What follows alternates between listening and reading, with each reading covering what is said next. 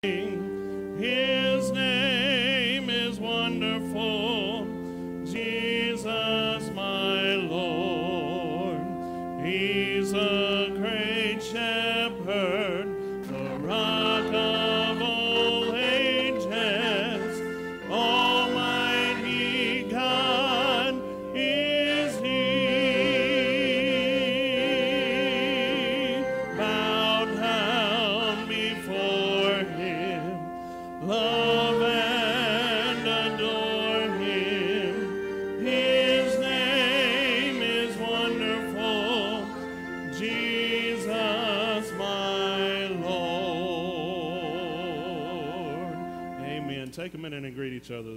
as the choir sings.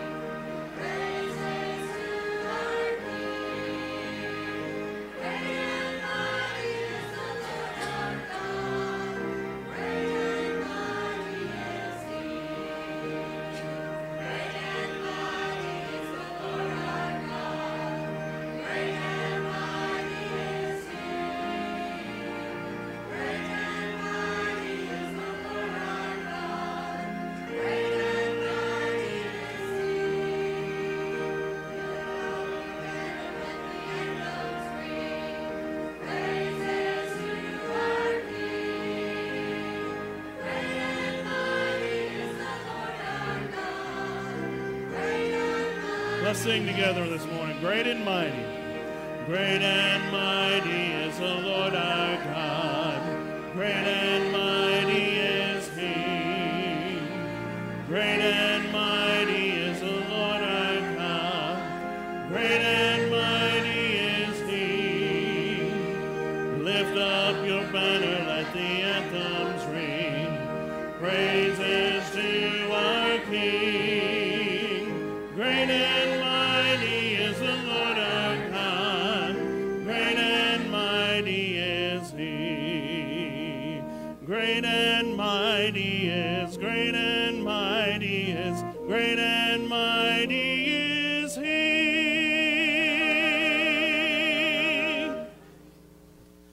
welcome all of you here this morning to the services. I trust you've had a great week, and hopefully you've uh, come today in order to worship and be able to get some batteries recharged and get ready to go out and and and tackle another week.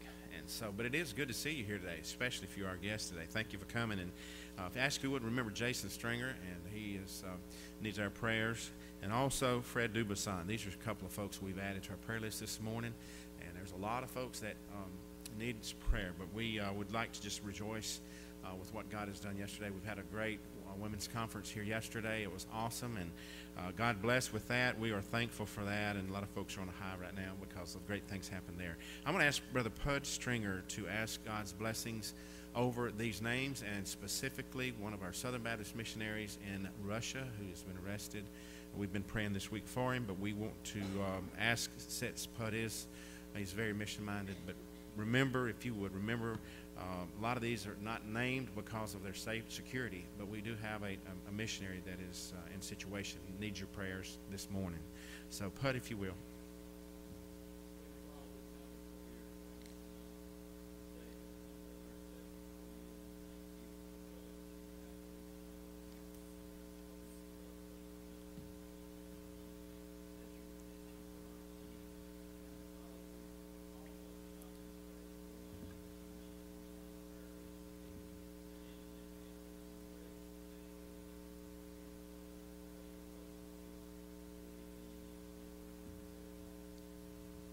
also pray for the one in Russia, dear Heavenly Father, be with him and his family in a very special way. Uh, and everything that's done here today. And Amen. Before Brother Evan comes, there's some announcement I wanted to make, and uh, some things that I wanted to sort of, I guess, push as a pastor, as we say.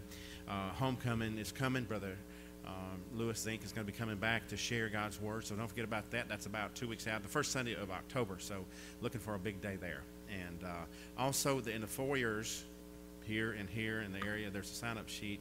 Uh, there's going to be an enhanced carry class uh, as far as like a handgun enhanced carry. You have to be 21 years of age or older uh, to be able to go through that class, and it's $60 uh, to be able to do that. Uh, so anyway, uh, you have more questions, you can uh, talk to our um, safety committee. I believe it's the way it's listed. and try, to call it security, but anyway. And Ben White is the chairman of that, and he could give you more information on that. Um, but also, uh, Brother Evan, if you will, if you'll come, and uh, there's other things we'll let you know along the way.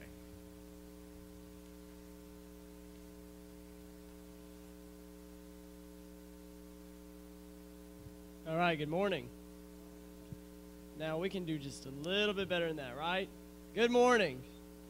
There we go. All right, y'all are awake and alive this morning. That is amazing. All right, just got a couple of announcements for y'all this morning. Of course, uh, immediately following the worship service this morning, um, all ladies that are participating in the Jesse Tree Advent experience needs to meet down here in the front of the sanctuary just for a few minutes after this morning's worship service. At 4 o'clock today, there is a Fellowship Hall committee meeting in the conference room. And of course, tonight after our evening worship, we have a homecoming committee meeting in the, uh, in the conference room as well. So, a lot of meetings going on today. Also, a lot of meetings going on this week, I suppose. Uh, Wednesday, this upcoming Wednesday, we are going to have a children's committee meeting at 5:30 in the conference room, followed by prayer meeting at 6:30, and and then choir practice. Choir practice is going to take place after church that night. So Wednesday night, y'all are going to have choir practice immediately after church. Saturday, September 24th at 6:30 a.m. The Marion County Brotherhood will leave the association office. They're going to go to Crosby, Mississippi, to work on a some of the flood damaged houses. We were told specifically this morning that they are going to be putting up sheetrock. So if you are a professional sheet rocker or if you have never put up sheetrock in your entire life, this weekend is going to be a great opportunity for you to come and learn and to be the hands and feet of Jesus as we uh, minister to people whose whose homes were damaged by the, the flooding over the past couple of months. mm. All right. Also, as Brother Tim said, we do have homecoming. That is uh, Sunday, October 2nd, the first Sunday in October. And Brother Lewis Zink is going to bring the morning message, and we will meet in the fellowship hall after that with a covered dish. So everybody bring a covered dish that morning, and it's going to be a great, great, great homecoming. All right. Also, this morning in Sunday school, we had, oh, let me see if I remember the number. I don't think I do. 167 present in Sunday school this morning with 12 visitors and 13 in our phone ministry class. This morning, I would like to just read to you a piece of God's Word from the book of Ephesians. Something I've kind of been doing um, at night before I go to bed is just kind of going verse by verse through the book of Ephesians and just kind of praying through it and seeing how it applies. And something the Lord just kind of recently revealed to me a couple of days ago. Um, you know, no matter how many times we study God's Word and we reread through God's Word, there's always something kind of new that that appears fresh to us. You know what I'm saying? And so a couple nights ago, I was reading through the first chapter, and right here, uh, beginning in, let's say, verse 16, the Apostle Paul writes, I do not cease to give thanks for you, remembering you in my prayers, that the God of our Lord Jesus Christ, the Father of glory, may give you the spirit of wisdom and of revelation in the knowledge of him having the eyes of your hearts enlightened, that you may know what is the hope to which he has called you, that you may know what are the riches of his glorious inheritance in the saints, and that you may know what is the immeasurable greatness of his power toward us who believe, according to the working of his great might that he worked in Christ when he raised him from the dead and seated him at his right hand in the heavenly places. And then he goes into this, this brief description of the, the power of Christ and the glory of God. He says, Far above all rule and authority and power and dominion, and above every name that is named, not only in this age, but also in the one to come And he put all things under his feet, being Jesus. He put all things under his feet and gave him as head over all things to the church, which is his body, the fullness of him who fills all in all. One of those words that the Apostle Paul uses, the immeasurable greatness. And you try and you, you try and grasp that with our minds, and, and I find that I, I just can't. I can't grasp the immeasurable greatness, but I know that at the epitome of God's greatness, we have the crucifixion and the resurrection, in which we see sinful humanity redeemed before a righteous and just and loving God. And that, my friends, is worthy of praise this day and all the rest of our days. So may we offer up a word of prayer to our God this morning. Lord, we come before you, and you are the very definition of the word immeasurable power, immeasurable grace, immeasurable love, glory, honor. God, you are above all, you are in all, and you are through all. And God, we are so thankful that even today you are still calling us to follow you. You are still calling us to make a difference. You are still calling us to be bold in the name of Jesus. You are still calling us to reach out and to love and to step past our comfort zones and to reach those who are hurting. And you are still calling us. And God, we are so thankful that you do. God, you could have left us right where we were and you would have been perfectly justified in doing so because we deserved condemnation.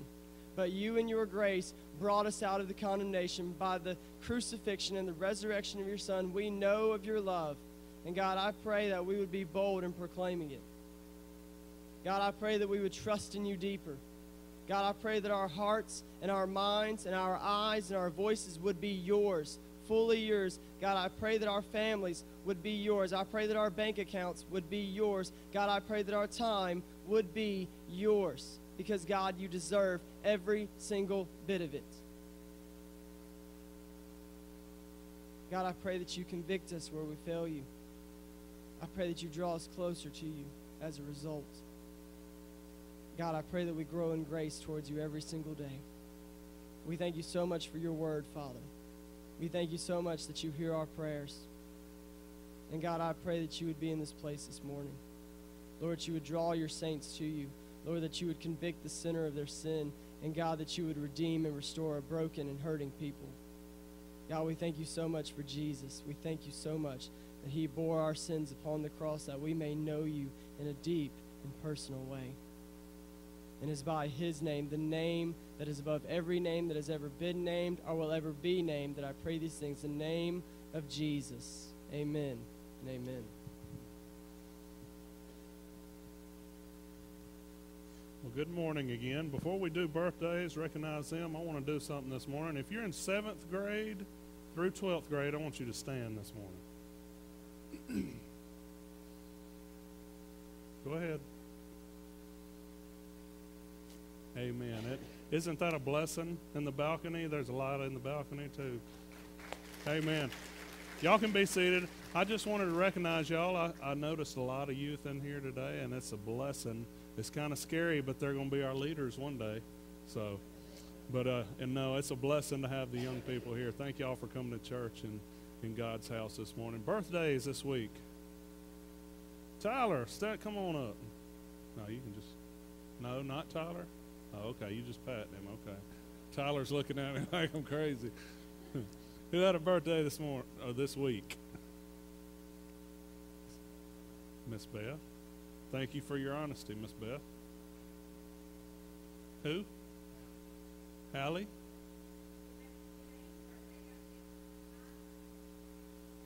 We got her. We got when? We got you last week. Is that right? Okay. I'm gonna leave that one alone. Who else? Just two? Who had an anniversary this week? That's a blessing. Nobody? Well, let's sing to these this morning. Happy birthday to you. Happy birthday to you. Happy birthday, God bless you. Happy birthday to you. Amen. As we continue in worship, we'll sing hymn number 91, 102, and 127. You can remain seated.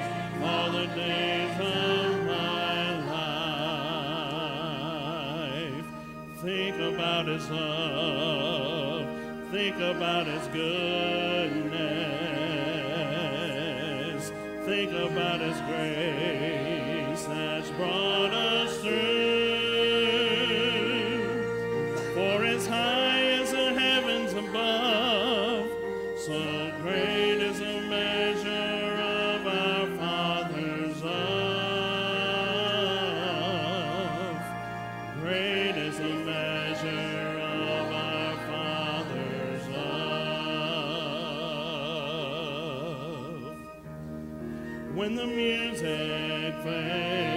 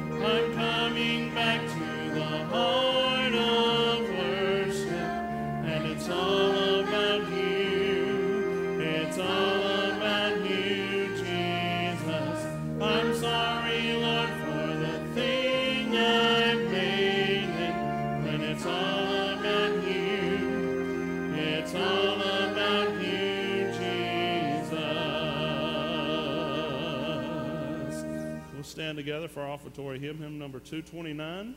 We'll sing the first, second, and last of Are You Washed in the Blood? Have you been to Jesus for the cleansing power? Are you washed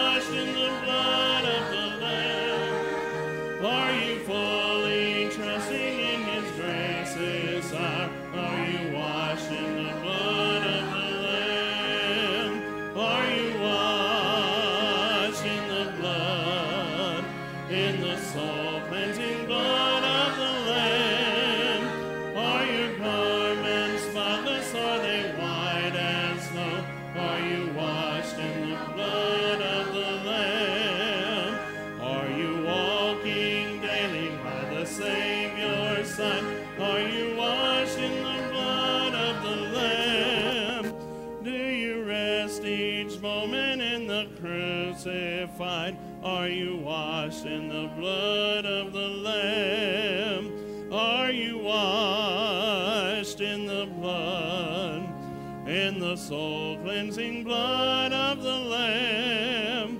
Are your garments spotless? Are they white as snow? Are you washed in the blood of the Lamb?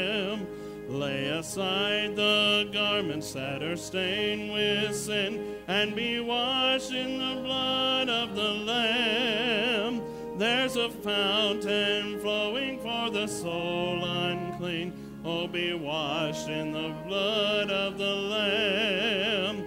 Are you washed in the blood? in the soul cleansing blood of the Lamb. Are your garments spotless? Are they white as snow? Are you washed in the blood of the Lamb?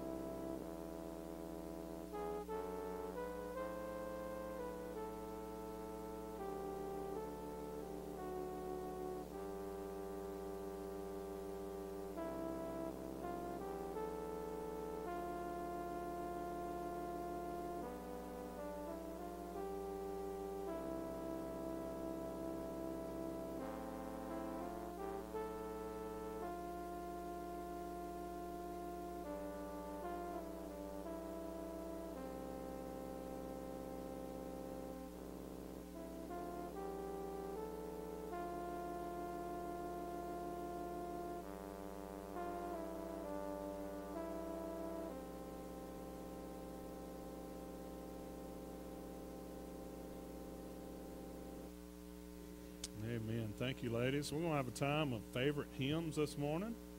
We'll do ever how many we can this morning. So grab a hymn book. Tell me your favorite hymn. Amazing Grace.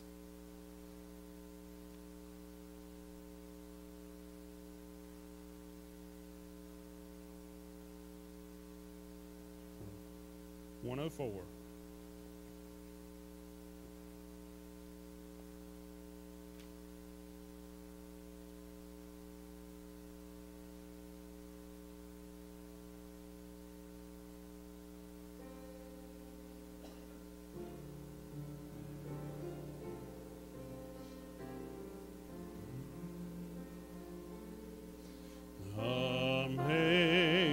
Amazing grace, how sweet the sound that saved a wretch like me.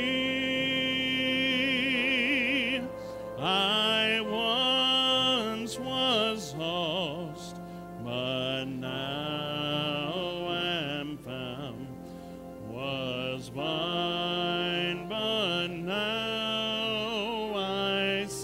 Let's sing the fifth verse, fifth verse. When we've been there ten thousand years, bright shining as the sun,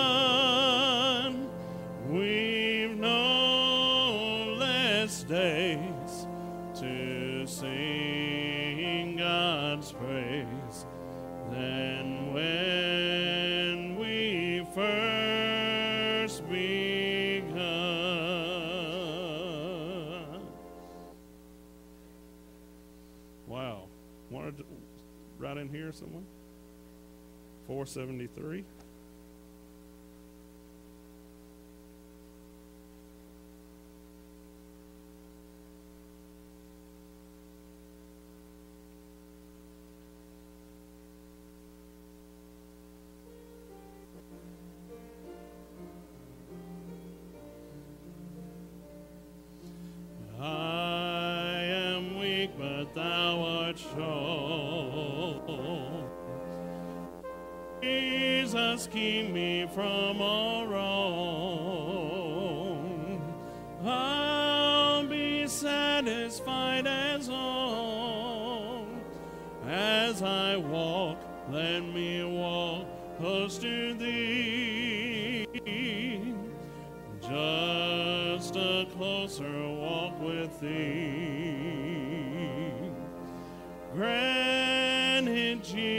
Jesus is my plea.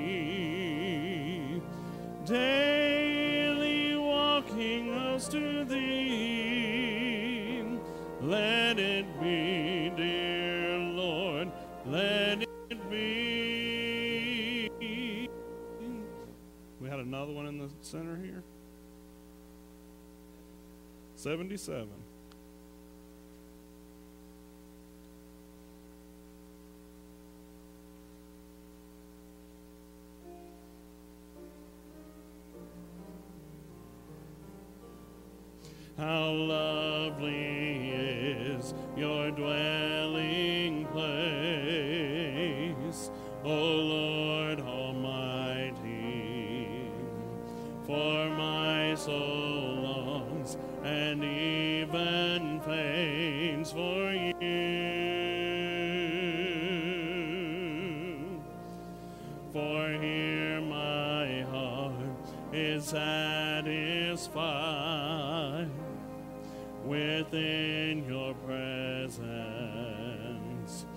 Beneath the shadow of your wings.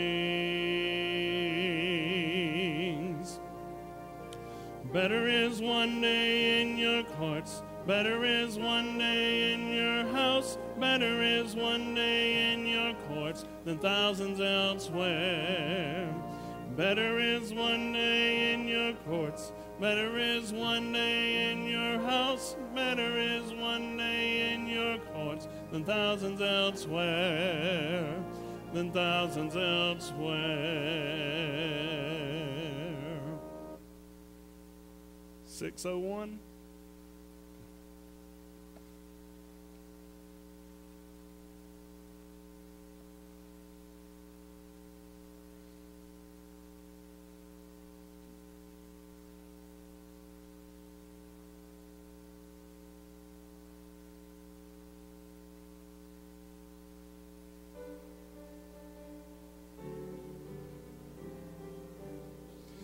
Some glad morning when this life is o'er, I'll fly away to a home on God's celestial shore. I'll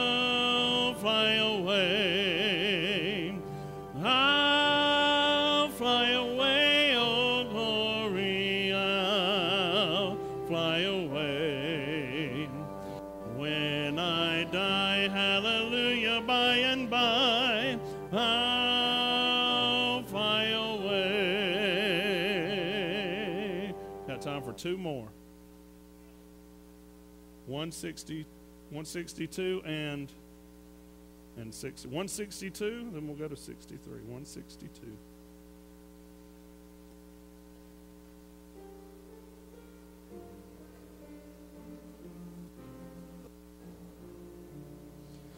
Wonderful, merciful Savior, precious Redeemer and friend, who would have thought that a lamb could rescue the souls of men? Oh, you rescue the souls of men. Counselor, comforter, keeper, Spirit we long to embrace.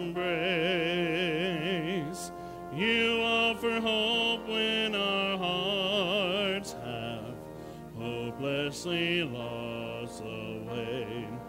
Oh, we've hopelessly lost the way.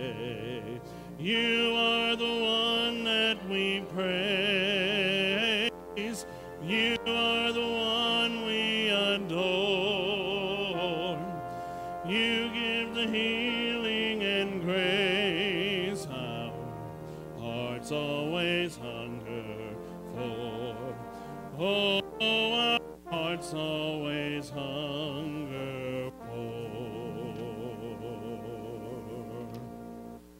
said 63?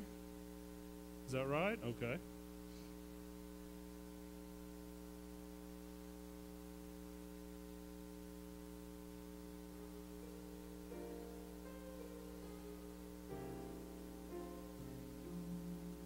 Our God.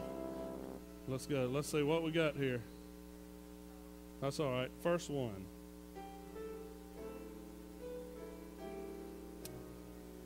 Let's sing it through twice. Our God is an awesome God. He reigns from heaven above with wisdom, power, and love. Our God is an awesome God.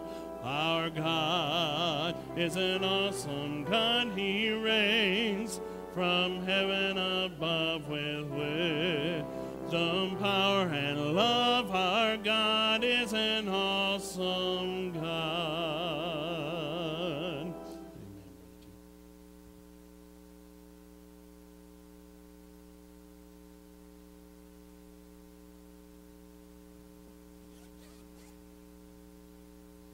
like to, um, some of you may be wondering about Mr. Woody um, Stringer. Woodrow, his real name, but we all called him Woody. And um, he is kin to a lot of folks in these parts, and uh, he passed away. Y'all know he was a Walmart greeter, and um, he his funeral service is going to be two o'clock this afternoon from over at Hawthorne, and the interment's going to be at Lot, and then they're going to have the feeding of, for the family immediately following the committal service uh, this afternoon. So if you would be in prayer for Woody's family and his passing, and uh, he had a bad heart, but it was somewhat of all of a sudden thing for him. But anyway, he'll be greatly missed. I'm going to be uh, officiating that service, only minister there that's going to be doing that. And so I appreciate your prayers as I do that this afternoon. Um, he's a real good friend of mine, and uh, we're going to miss him greatly. If you have your Bibles, let's turn into the book of Psalm 107 and verse 1 through 9 today. Psalm 107 and verse 1 through 9. Is this mic'd up enough? Can y'all hear me back in the back with this? Sound like it needs to be just a little bit, maybe. Um, we've been going through a series of messages, and it's about questions that we all ask. And this is the last message on the series. Um, we will be going in a different direction next week and following. And uh, but how uh, how to live a life of satisfaction. And uh, this message is, is hard for me to, to preach today because this one probably is more for me than it is anybody in the place. Um, how to live a life of satisfaction. Sometimes it's hard to be, like Paul said, find satisfaction basically in the circumstances that you're in or in life. And so it's hard to sometimes find find that fine place to be in and satisfaction. But we're going to try to look in Psalm today in 107. We'll read that in just a few minutes, uh, in just a few moments from now. You know, a lot of people can make a lot of money, but does money really make you happy? Uh, you can have all the money in the world, and a lot of people think the more they get, uh, the more happy they will be. And when they find out, not necessarily is the case, that the more money you get, well, you sometimes bring dissatisfaction by the more you get. And that's the way that we are in our country. We have that mindset if we get if we can get more money, we will be satisfied. Or if I do this certain thing, I will be satisfied. If I get this certain degree, I'll be satisfied. But how do you live a life of satisfaction? Uh, in Psalm 107, verses 1 through 9, uh, it, it, speaks about this, and we're, we're going to give our very best shot today in, in looking at this. You know, there's a lot of football players that play in the NFL and make a lot of money. And one of those football players plays the New England Patriots. And during back years ago, back in 07 8, and during the regular season, their quarterback, of course, Tom Brady, uh, he was just blowing up scoreboards and setting all kind of records and things like that. And and he won the most valuable player award. And he was at the age of 30. At that point, he had already accomplished a lot. He had won three Super Bowls. And he seemingly was set apart as one of the best ones ever go down in history as a quarterback, uh, besides the Manning bunch. And, and so we find that Tom Brady, he asked the question, and back in 05, Tom Brady was interviewed by 60 Minutes journalist Steve Kroft. And despite all of the fame and the, all the accomplishments that he has actually achieved, this guy, he talked to him. Brady talked, told this uh, guy from 60 Minutes that it felt like that there was just something missing in his life. And this is what he said. He said, "Why do I have three Super Bowl rings, and still there's something greater out there for me?" It seems like that would be the case. I mean, maybe there's, maybe a, a lot of people would say, "Hey, man, uh, uh, that's what it's all about." I reach my goal. I reach my dream. I, uh, but me, he said, I think it's got to be more out there than that. I mean, this just cannot be all that there is. I mean, all that it's cracked up to be. And so, this interviewing guy, Kroft, he pressed Tom Brady as to what the right answer would be. And he didn't know what the answer was. He said, I wish I knew. He said, I love playing football. And I love being quarterback for this team. But at the same time, I think that there's a lot of other parts about me that I'm trying to find. How many of you can relate to Tom Brady's desire for more?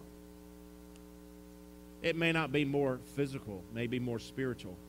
On the one hand, most of us, we have everything that we possibly could need. Most of us, every one of us in this place, more than likely, we have a whole lot more than a lot of people in other countries, for sure.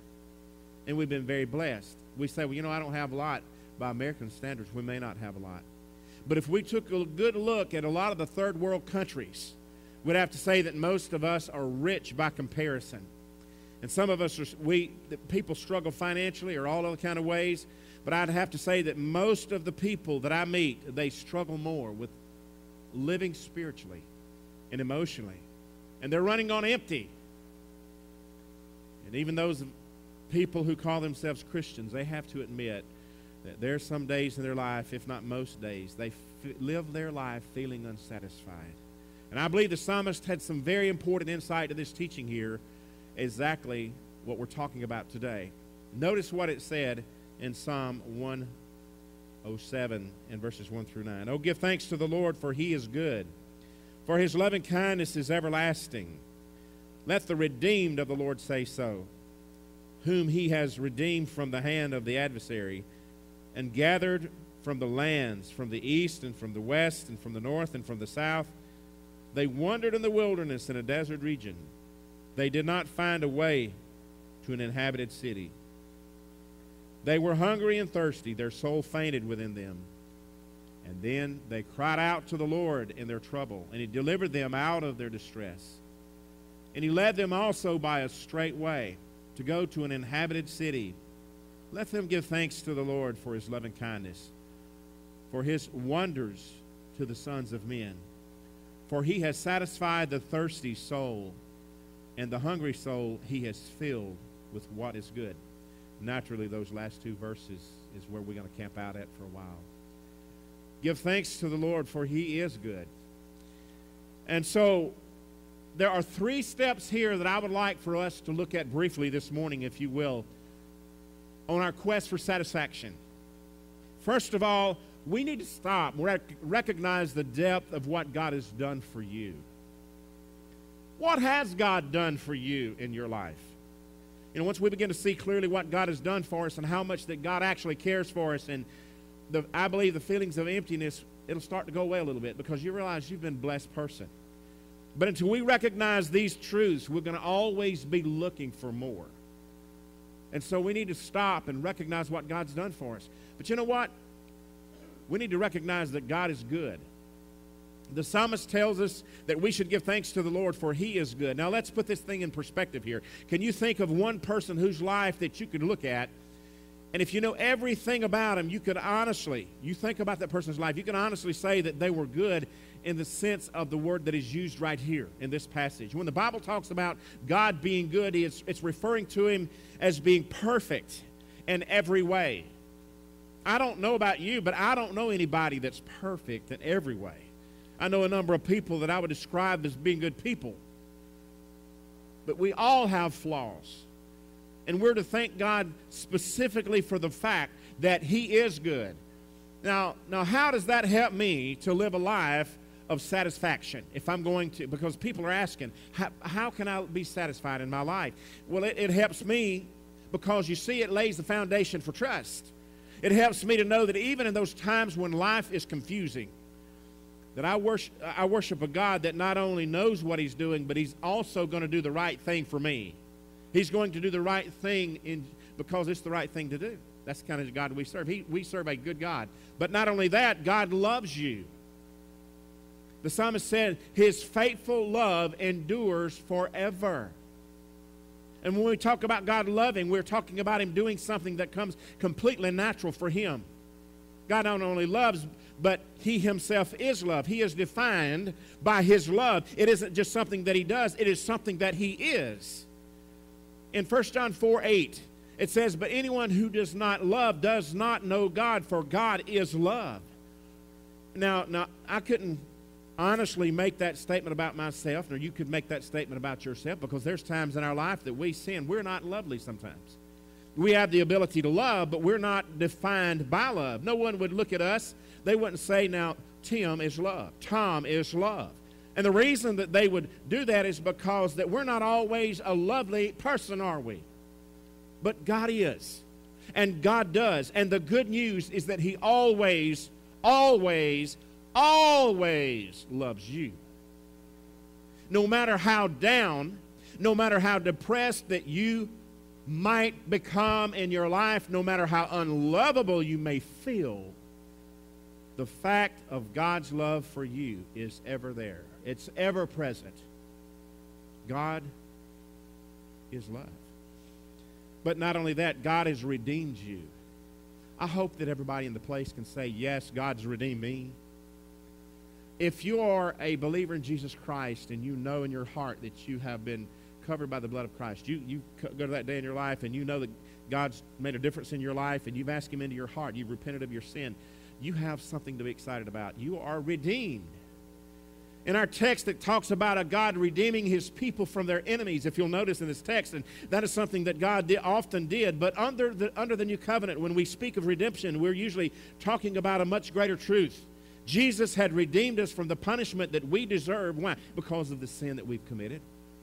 And if you're a Christian today, you have been redeemed. because of our sin, because of the rebellion against God, we had been cursed. But through the cross, Jesus has removed that curse and he's paid that price for redemption. And Christ has rescued us from that curse that was pronounced by the law. And when he was hung on that cross, he took upon himself the curse for our wrongdoing. And for it is written there in the scriptures in Galatians 3:13, cursed is everyone who hung on a tree, on a cross. If you've placed your trust in Christ for your salvation, then you're not going to face eternal death or hell or damnation. You're not going to do that. And so the price has been paid and you've been redeemed and, and therefore from that penalty. And so how much more satisfying can life get than knowing the truth? No matter what happens in the here and now, no one can take away your relationship with Jesus. I don't care how many we, are having religious oppression, and we heard about this week in the former Soviet Union. I don't care how much the deepest, darkest places of this earth hate Christians. They can never take away the fact that if you've been redeemed by the blood of Jesus Christ, they can't touch that. No matter what happens, no one can take that relationship away. Whether you get that promotion or not, or whether she says, Yeah, I'm going to marry you, or No, I'm not, or whether life is filled with health or sickness, no matter what circumstances may come in your life, you can always rest in the satisfaction that God is good and that God loves you and that God has redeemed you. Can we really ask for more than that? But second of all, how can I live a life of satisfaction? Well, we should rejoice in sharing that story that you have with others. Has the Lord redeemed you? If so, you need to speak out. Tell others that He's redeemed you from the life that you used to live. One of the most satisfying things that we can ever participate in is the sharing of our faith with other people. Even back in the Old Testament, we're told to speak out about what the Lord has done for us in the Old Testament. And if you've never shared your faith, then you just don't know what wonderful blessing or the feeling of satisfaction that you can have that comes from sharing your story. And you have a story. I know that this one is from those things that most believers are scared to death of, but it doesn't have to be that way. You know, when you begin walking in the confidence that comes from recognizing the depth of what God has done for you, it's going to become easier for you to share your story. So, there are two primary ways that we share our story with other people. Two ways. First of all, you share your story by the way that you live your life. How you live your life. You know, we're called to live like people of faith, and people of faith are people who they're going to live their lives that are patterned by the example that was set by none other than Jesus. And so our job is to share the love and the concern and compassion with other people and this is going to have more of an impact than any sermon that I could ever preach in this pulpit or anywhere else. Is the life that you live. They expect the preacher to do something. Well, they're supposed to set the example. But when you go out and you live your life and you set that example, they will take note of that. Edgar Guest wrote a poem, and I want to read it for you. And it's called I'd Rather See a Sermon. And I want you to hear this. It says, and I think it fits well with what we're talking about here. I'd rather see a sermon than to hear one any day. I'd rather one would walk with me than merely tell the way. The eyes a better pupil and more willing than the ear. Fine counsel is confusing, but examples always clear. And the best of all the preachers are the men who live their creeds. For to see good put in action is what everybody needs. I soon can learn to do it if you'll let me see it done. I can watch your hands in action, but your tongue too fast may run. The lectures you deliver may be very wise and true, but I'd rather get a lesson by observing what you do. I may misunderstand the high advice you give, but there's no misunderstanding how you act and how you live. When I see a deed of kindness, I'm eager to be kind when a weaker brother stumbles and a strong man stays behind just to see if he can help him, then the wish grows strong in me to become as big and thoughtful as I know that friend to be. And all travelers can witness that the best of guides today is not the one who tells them, but the one who shows them the way. One good man teaches many. Men believe what they behold. One deed of kindness noticed is worth 40 that are told. Who stands with men of honor learns to hold his honor dear. For right living speaks the language which to everyone is clear. Though an able speaker charms me with eloquence, I say I'd rather see a sermon than to hear one any day. That's true.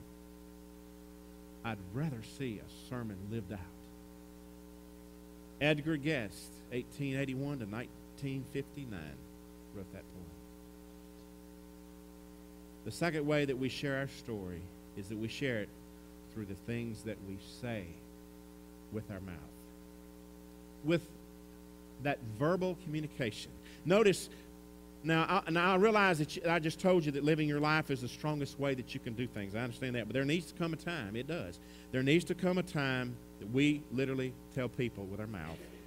And being kind is important. Being compassionate is important. It tells people a lot about who we are. It, it uh, it tells them about that we belong to Jesus. And at some point, we need to open our mouth and we need to share the fact that we are a lost sinner, that we were away from God, but He has saved us by that sacrifice of Jesus Christ. And so, if you've been a living example of Christ to those people in the past, they're, they're more than likely they're going to be willing to listen to your story.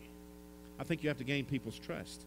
And if that person happens to place their trust in Jesus Christ, then therefore you're, you're going to have a satisfaction beyond anything that you've ever known in your life. What would it be like for somebody to walk up to you and tell you, I've watched you live your life.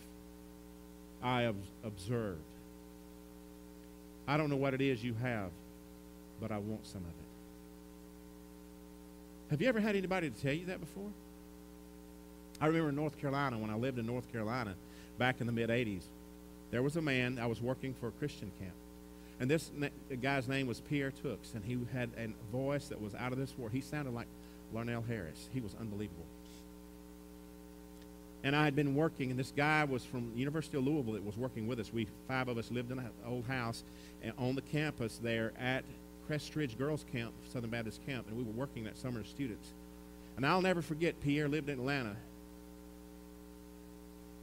And the guy named Rich was just, he was a bully and he intimidated people. And he was and he was supposedly a christian but he was full of arrogance. And i and, and he was just on me all the time constantly. And there was one day i was and i stayed by myself a lot because uh, i just did went and played basketball at the gym on my day off that they would give you. And one day pierre tooks walked up to me and he looked at me. And he said i've watched how rich has treated you.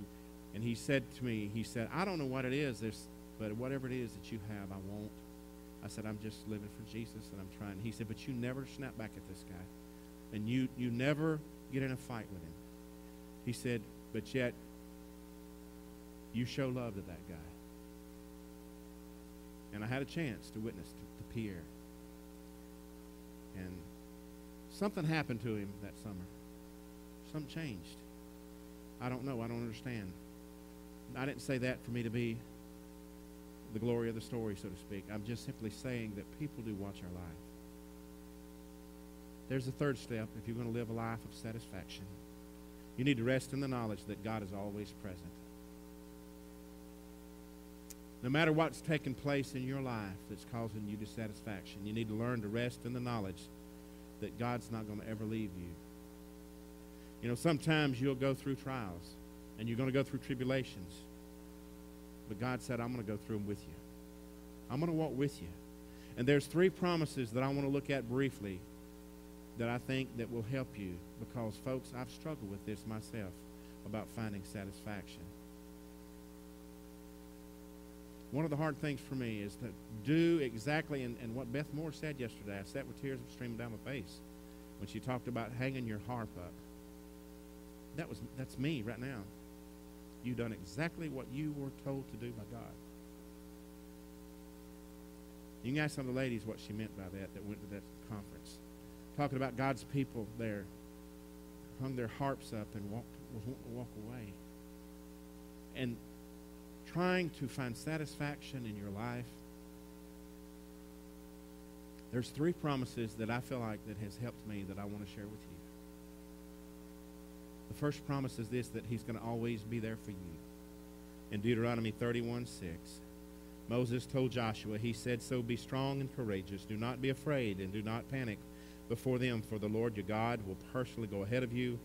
He will neither fail you nor abandon you. Deuteronomy 31 6. He will always be with you. He told his disciples that he did something very similar. Jesus in Matthew 28 20 said, Be sure of this, I am with you always, even until the end of the age. Some translations say, end of the world. Matthew 28 20, God will never leave you, nor will he forsake you. He will always be there for you, even in times of dissatisfaction. And during those very times, if you rest in this knowledge, that you'll find that very soon the dissatisfaction you feel will begin to dissipate. He's going to always be with you.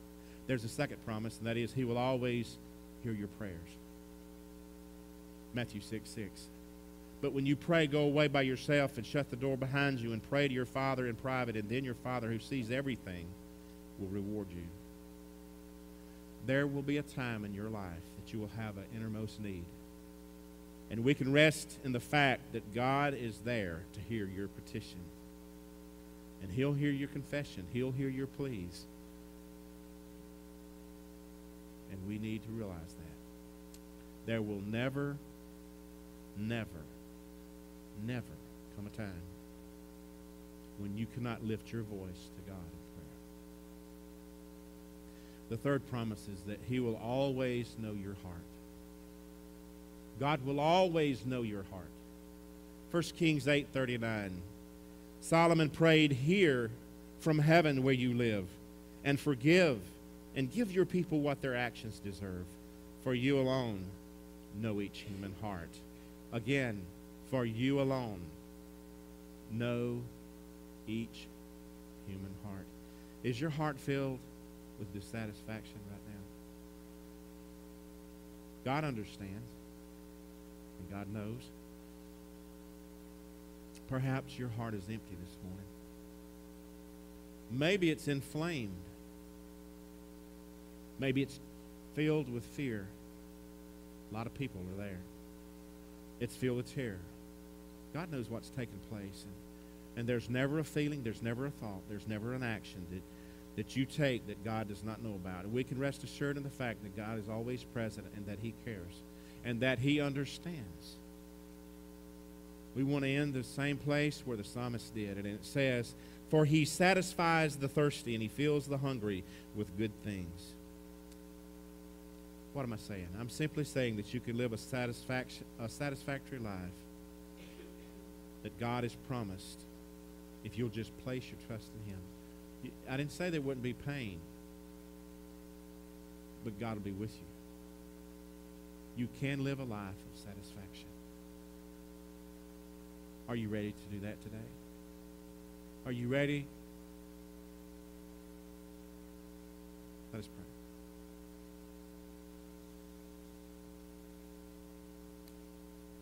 Father, how many people spend long, lonesome nights in the stillness and the darkness and pondering and wondering, is God there? Does he even care? Does he listen to me? Lord, we're reminded through Scripture that we've just shared that you not only care, but you'll never stop loving us. And that you'll walk with us through that time. Father, I pray today that we would find satisfaction in our heart. There's so many people today that are walking as an empty shell. And their life is a reflection of, of sadness and dissatisfaction. Father, there's probably a lot of folks on these pews that their life is being lived dissatisfied. They've not found happiness. And they've lost their joy. And because of that, they've lost their way. Father, I pray today they would find their joy again, the joy of their salvation. Lord, their joy may have been snatched away because of sin committed in their life.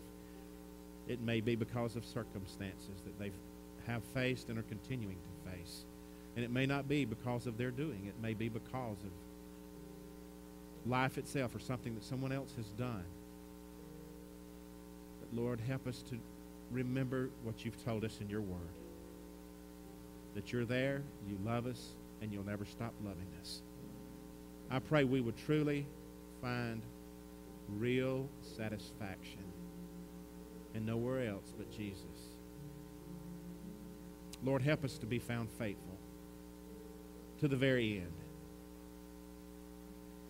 Lord, I know of seasons of dissatisfaction that we all experience, but through it all, help us to be satisfied that we have been redeemed and that we've got that story to tell. In Jesus' name, amen. I'm going to ask if you would to please stand. You might need to come and down here this morning and just pray at this altar.